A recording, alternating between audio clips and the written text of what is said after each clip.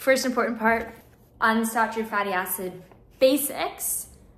It is a fat, unsaturated, restart. Today, we have so much excitement going on because literally this whole entire video is all about fats. And we're gonna be talking about what exactly chemically is a fat, what is a saturated fat, what's a unsaturated fat, what is a trans fat. We're gonna learn about fats. Starting one, two, three, now. Part one, what actually is a fat? It is a carboxylic acid head group and a hydrocarbon tail. These molecules come together. This is a covalent bond, and this is a fatty acid. This specifically is one, two, three, four, five, six. This is a six carbon saturated fatty acid. You can get a huge amount of variety in fatty acids depending on the length of the hydrocarbon chain or the degree of saturation. See that literally every single carbon has a hydrogen on it. We say that this is a saturated fat because each carbon has its maximum number of hydrogens on it. This, oh my God, I made it upside down. Unsaturated fat, and this is also, uh, let me count. This is a 14 carbon long unsaturated fatty acid because see these carbons here? This is a double bond and so this carbon is not saturated in hydrogens, so it's an unsaturated fatty acids. Fatty acids will vary in length of the hydrocarbon chain. This is a long chain fatty acid because it's literally got a long chain. This is a medium chain fatty acid because it's got a medium chain. And these are short chain fatty acids. This, by the way, is propionate, propionate. I say it wrong. Propionate. This is butyrate. These are both actually ketones and they're super great for brain health in starvation or states of intense exercise, low carb diets. Your body might start to make more of these ketones as an alternative fuel source for your heart and for your brain. And what a fatty acid actually is, it is a carboxylic acid head group with a hydrocarbon chain. Um, I made a mistake in my video. I said these are ketones. These are not ketones. This is a ketone group, which is present everywhere, but these are not ketones. These are short chain fatty acids. These, I'm gonna draw now what ketones actually are, or at least like the ketones that are relevant to ketoacidosis or metabolism. Three main ketone bodies, acetate, acetoacetic acid, and beta hydroxybutyrate. I'm Googling it so I can know precisely what I'm doing. Acetone, very easy. Also, by the way, this is a nail polish remover. This gets nail polish off your nails because that's what nail polish remover does. This is acetoacetic acid, acetoacetate, OH. Yeah, this is acetoacetate. And this is beta hydroxybutyrate single bond hydroxyl group. Beta hydroxybutyrate, very important ketone for brain health. Acetate. And when someone is in ketosis and they have like keto breath or you can, they just smell funny, it is because this is extremely volatile. Essentially just evaporates out of you. You breathe it out. So when somebody is in ketosis, they are literally breathing out ketones.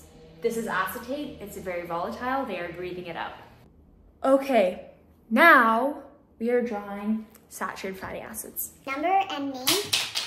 The pen off again. What the frick? One second, please. I'm gonna start with how we number and name fatty acids. Like I said before, this is your carboxylic acid head group. This is your hydrocarbon chain. When we are numbering and naming fats, this at the carboxylic acid head group, this carbon here is the number one carbon. So if we are referring to a fatty acid as C10, that means that starting from right here, there's 10 carbons.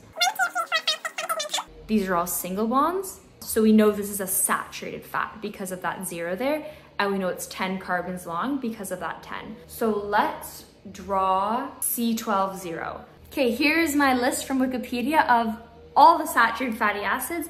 I said we're gonna draw C12-0, and C12-0 is lauric acid. Lauric acid is super abundant in coconut products and lauric acid has some antibacterial, antimicrobial properties in it as well, which is pretty cool. So C120, we're gonna draw that and then after we'll look at the chemical structure to make sure we got it correct. But I can already promise you we're gonna get it right because drawing fatty acids is so easy and you're gonna nail it. Like I said before, we are starting with the number one carbon right here in the carboxylic acid head group, and then we just make sure that our hydrocarbon chain includes 10 carbons long. And because it's 12, zero, zero double bonds, it is a saturated fat. Here's our carboxylic acid head group. This is the number one carbon. This is the number two carbon, and we're just gonna go all the way so we have 12. This is literally lauric acid.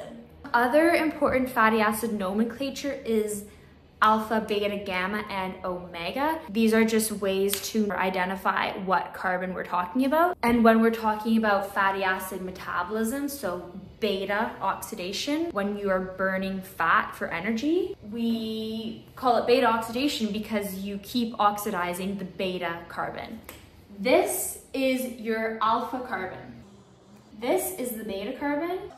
This is the gamma carbon. This is your omega carbon.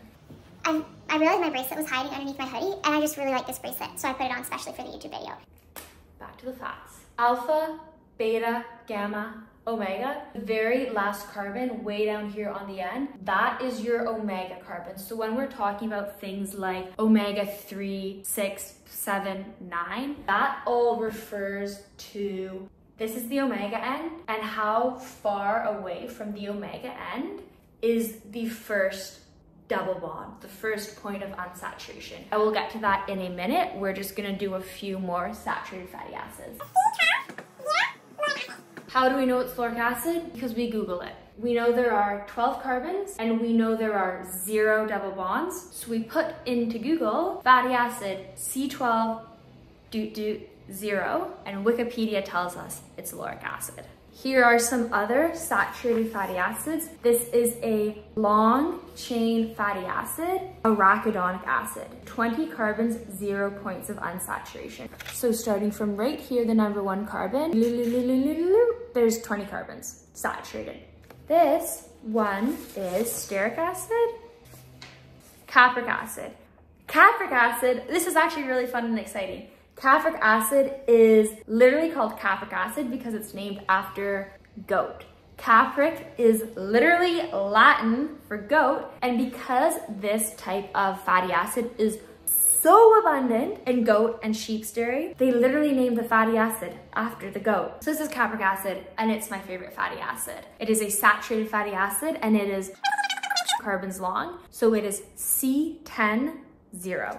This is a short chain fatty acid. By the way, healthy, good gut bacteria will ferment the fiber that you eat and they will synthesize short chain fatty acids. So this is butyrate. You can get it from your diet. So things like butter, grass-fed butter ghee has a lot of butyrate in it. Swiss cheese also has a lot of butyrate in it because the bacteria in Swiss cheese are able to synthesize short chain fatty acids and synthesize butyrate. If you wanna learn more about cheese or health benefits, go see my YouTube video all about cheese right over here. Hey there, this is my mom's painting by the way.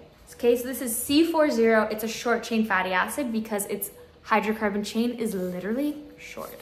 Palmitic acid probably one of the most abundant saturated fats that you will find in food products in your diet and also in your body. 18 carbons long, it's a saturated fatty acid, zero double bonds and this is palmitic acid or palmitate. An important feature of saturated fats is that they are linear molecules. The molecule, okay, I know it's like all zigzaggy, but this is linear. It exists in a line. So when you have products, food products that are super high in saturated fat, things like butter or tallow, they will be solid at room temperature and that is because all the saturated fats are linear so they can pack very nicely and closely together like this. And because they can pack so nicely and so orderly, they are very strongly held together and they don't slide around past each other very much. So things high in saturated fat will be solid at room temperature. Butter is solid at room temperature. Okay, unsaturated fatty acids. By the way, these are difficult, so we're gonna go through them together. This is an unsaturated fatty acid, literally because here's our hydrocarbon chain. Here are two double bonds. The carbons participating in these double bonds are not saturated in hydrogens. That makes this an unsaturated fatty acid. Just like in the saturated fatty acids, when we are naming this or numbering the carbons, this is carbon number one, and we go 14 carbon long with two double bonds. So it is C14, 2. I don't even know if this is a real fat or not. I just drew it, but we can name it because there are 14 carbons and two double bonds. To further name this fatty acid properly, we are going to identify the location of the double bonds. One, two, three, four, five, six, seven, eight delta 8, 8, 9, 10, 11, comma 11. This unsaturated fatty acid is C14, 2, delta 8, comma 11. This symbol here is delta and we just use it to represent where that double bond is occurring. Let's draw some more fatty acids. We're gonna draw gamma linolenic acid, GLA. This is an omega-6 unsaturated fatty acid and its formula is 18,3 delta 6 9 12. I have not looked at the structure yet, but this gives us all the information we need to know how to draw it properly. C18-3, 18 carbons, three double bonds, three points of unsaturation, delta 6, 9, 12. These are the carbons at which the unsaturated bond occurs. When we're drawing our fatty acid, the very first thing we start with is the carboxylic acid head group. This is the number one carbon right here. I'm gonna name it by the way right now. Gamma linolenic acid. That is what we are drawing, gamma linolenic acid. So 18 carbons. 18, we have got three double bonds and those occur at the sixth, the ninth, and the 12th carbon starting from here. So do not draw your double bonds yet. You have to know where they are occurring. So let's go identify these carbons.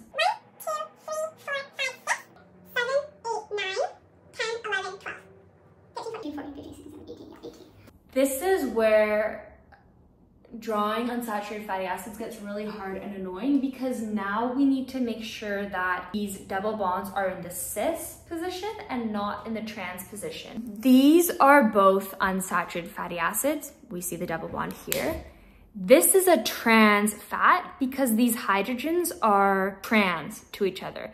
They're across each other on opposite sides of the double bond, it is a trans fatty acid. This is a cis fatty acid because when I show you where these hydrogens are, they are on the same side as each other across the double bond. So this is a cis fatty acid. And see how this molecule is kinky? That is because these two hydrogen bonds take up space over here, which forces the molecule to bend. This, because the hydrogens are across from each other, this molecule exists as a linear molecule. It's not bending. When I end up drawing this fatty acid, I will be drawing it linearly because it's just easier that way but I do want to make sure that I get the point across that unsaturated fatty acids do not exist as linear molecules, exist as kind of crazy freaking all over the place molecules, which is actually really important to their health benefits. So these are cis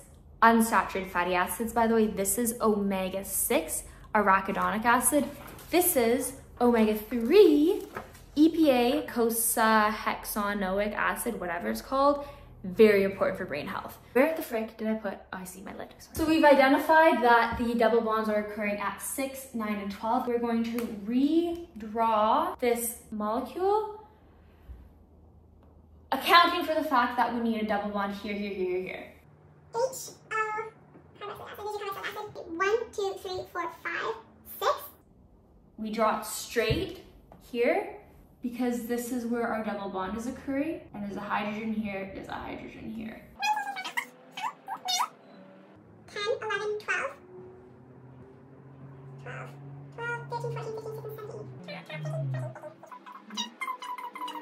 This is what gamma linolenic acid, acid gamma linolenic acid actually looks like, except I've drawn it linearly. And we know this is an omega, let's see, omega, here's the omega carbon. One, two, three, four, five, six. First double bond occurs right here at the sixth carbon from the omega end. So it is an omega-6 fatty acid. Yay! We did it! See you later. Let's draw DHA. DH, oh, hey, hang on a second. I am a little bit crazy because I literally have an Amazon prescription for sardines to be delivered to my house every two weeks. And sardines are a really good source of omega-3 fatty acids. So EPA and DHA, these are both polyunsaturated fatty acids. They are omega-3s and they are so freaking important for brain health and for heart health. This, by the way, is what EPA looks like, icosahexanoic acid. It is an omega-3 fatty acid and we know it's an omega-3 from looking at its structure. This is the omega carbon. One, two, three. Three carbons in from the omega carbon is where the first point of unsaturation occurs, omega-3 fatty acid. This is actually, let's name it. 17, 18, 19, 20. C20. How many double bonds are there? 1, 2, 3, 4, 5. C25. And now we have to identify where these double bonds occur, starting from the number one carbon. Okay, one moment, please. C25, delta, 5, 8, 11, 14, 17.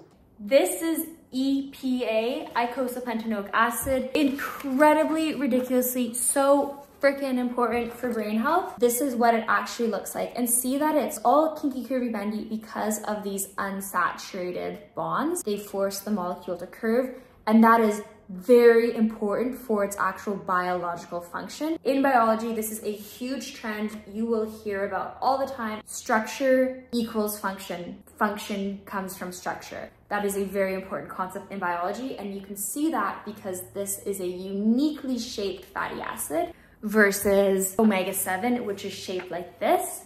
These shapes give them distinct functions. The other super healthy fat that you get in sardines is DHA, dexa, decosa, let me Google it. Docosahexaenoic acid, DHA. This is the last one we're gonna draw because this is gonna stretch my brain a bit. C22, 6, delta, 4, 7, 10, 3, 16, 19. This is all the information we need to draw the fatty acid. So let's draw it. This is gonna be challenging, but we're gonna nail it. Where the frick did I put my pen? Okay, first thing we need to know, how many carbons? 22 carbons, six unsaturated bonds. C22, 6. Location of the unsaturated bonds. Delta, 4, 7. I really need to pee. This is taking me so long. I drank so much water and I just really need to pee right now. So let's finish drawing this fat. And then the video will be done and I can go pee. 4, 7, 10, 13, 16, 19. One, two, three, four, five, six. Yeah, six. Okay, now we're gonna draw it. Start with the carboxylic acid head group. And we have to do 20 carbons. 21, 22. Six unsaturated bonds, they are occurring at these place, these carbons, so okay. 1, 2, 3, 4, 5. 1, 2, 3, 4. Is that correct? One, two, 1, 2, 3, 4. 5, 6, 7, 8, 9, 10, 11, 12, 13, 14, 15, 16, 17, 18, 19. omega. One, two, three. That's where that double bond is going to be. And we can see from the omega end, the third carbon in is participating in that double bond. So omega-3 fatty acid. Let's draw it per, per, per, properly. Okay. Here's our, here's a start. These are all the double bonds, all the unsaturated bonds. Now let's draw what this molecule looks like when it's bending. H O. One, two, three, four, Double bond. Four, five, six, seven. Double bond. Eight, nine, ten.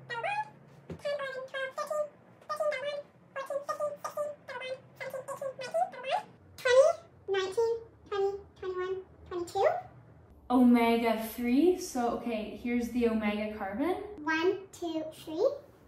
This is DHA. We did it! This is DHA. That's all you need to know to draw a fatty acid. You need to know how many carbons, how many unsaturated bonds, the location of the unsaturated bonds, and then all you need to do is draw it. If it is something like an omega-7, which I'll show you, one moment please. Omega one, two, three, four, five, six, seven. the first double bond occurs at the seventh carbon in from the omega end. In other um, fatty acid nomenclature, we will call this alpha, beta, and gamma carbons. This is relevant to metabolism and beta oxidation, the process of actually metabolizing and burning fatty acids for energy. We are calling it beta oxidation because we keep on oxidizing the beta carbon. In each round of beta oxidation, this whole entire fatty acid gets shorter, shorter, shorter, shorter, shorter because we keep on chopping this bond here. This is a triglyceride because there are three fatty acids on a glycerol molecule. This is pretty much the type of fat that you have floating around in your blood. This is how fatty acids are delivered to your cells actually. Cells have lipase enzyme on them or around them. Lipase enzyme cleaves a fatty acid off of the glycerol molecule, which leaves you with one of these that your cell can grab onto and use for whatever purposes it seems fit. You can have these existing as triglycerides, diglycerides, or monoglycerides. Triglyceride, three, diglyceride, two, monoglyceride, just one. That's really biologically how you're going to find fatty acids. They rarely exist in their free form. This would be them in their free form. They are most common found esterified, I think that's the term. In some form of tri, di, or monoglyceride, you will find fatty acids. Trans fats. Here is our omega. Uh, one, two, three, four, five, six, seven, eight, nine. Here's omega-9 oleic acid. It is a cis fatty acid because these hydrogens are on the same side. This is omega-9, but it has been transformed into trans fatty acid. These are ridiculously bad for your health. Very well associated with atherosclerosis, dyslipidemia, heart disease, heart attack, stroke, metabolic disease. Trans fatty acids do not occur in nature. They are a product of human processing and see that when it is in the cis conformation, it's kinky. When it is in its trans conformation, it's linear. Things like margarine that are solid at room temperature have a ton of trans fat.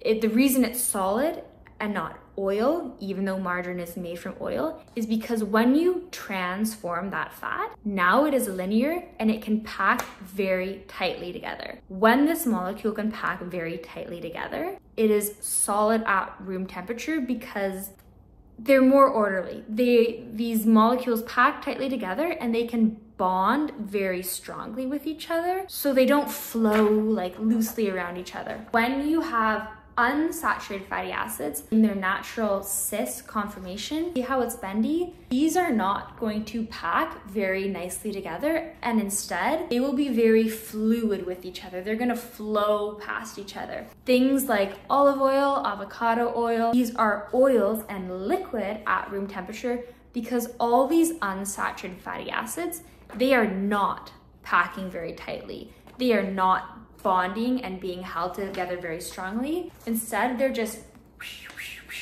blowing around. So you get an oil. Oh my gosh, everybody. This concludes today's petite little video all about the chemistry and molecularity of fatty acids. I really hope you liked it because I got super excited about making it and all the notes, all the comprehensive notes, those will be available on my website, nutritionbyelsa.com The notes to this video will be a free download and in my later series, I have an organic chemistry series coming out and a biochemistry series coming out.